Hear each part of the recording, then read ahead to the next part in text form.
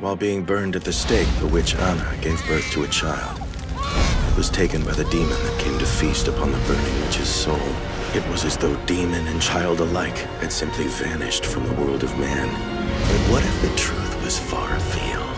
There will come the day when your kind are nothing but a memory. Where the human heart embraces evil, horrors feast. Such vile, poisonous creatures have been hunted since time out of mind. Relentlessly pursued by men of the armor. The Makai Knights.